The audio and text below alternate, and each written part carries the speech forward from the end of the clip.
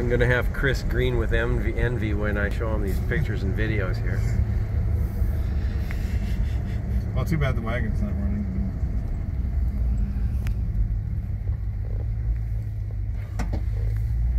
This is not a car question, but when are the oranges right here?